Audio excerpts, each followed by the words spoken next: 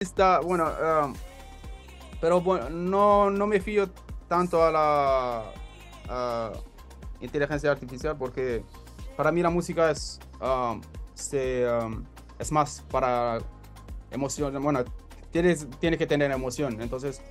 creo que la inte- inteligencia artificial no puede hacer eso, no hay emoción, no puede poner emoción en la música, entonces cada produ- productor